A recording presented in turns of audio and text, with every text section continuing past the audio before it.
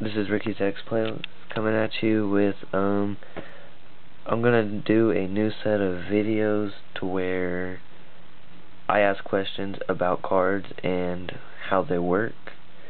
Um and you guys can come at me asking certain cards that you have questions about. Um and if I feel like I cannot answer it or if I feel like it's a very good question, I will make videos of it, but I'm not going to do it just for one question. I'm going to have a couple questions per video. Um, this is to better me, make me a better player, and understand the game better, and to help you players out there become better at the game also.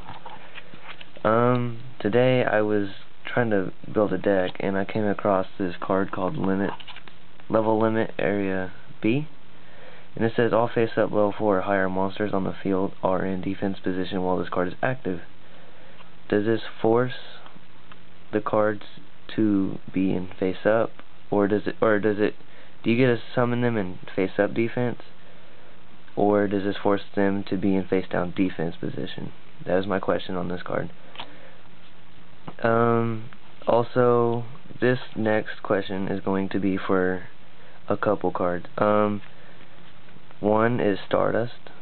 Um, I do not know if you guys know what this does. Most of you guys should. Um, basically, you contribute that card to negate the effect activation of a spell trap or an effect monster that destroys a card on a field or cards on the field. You can negate. You contribute this card to negate the card that destroys and it gets come back at the end phase. And also Prime Material. It you can I don't know if you guys know what that does, but pretty much the same thing, but you can discard a card to negate the effect of a card that destroys that card. Um, and also um, Sacred Phoenix. I I think that's the name. I do not have those two cards. That's why they're not in this video.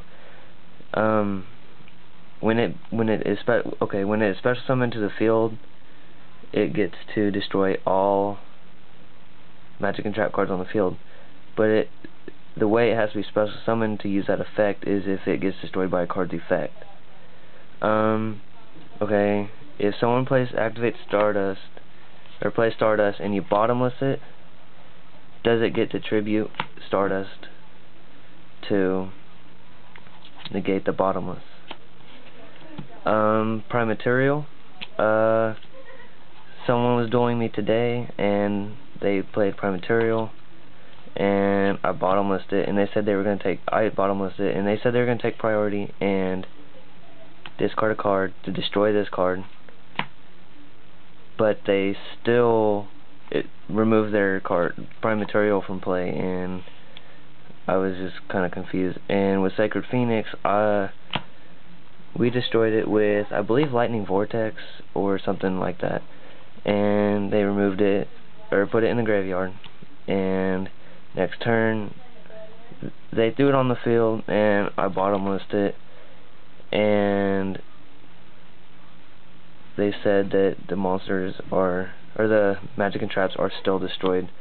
I do not believe that they are destroyed because it has to be successfully summoned that's what this whole bottomless thing was about and with Stardust. Do you get to use their effect because they are not successfully summoned?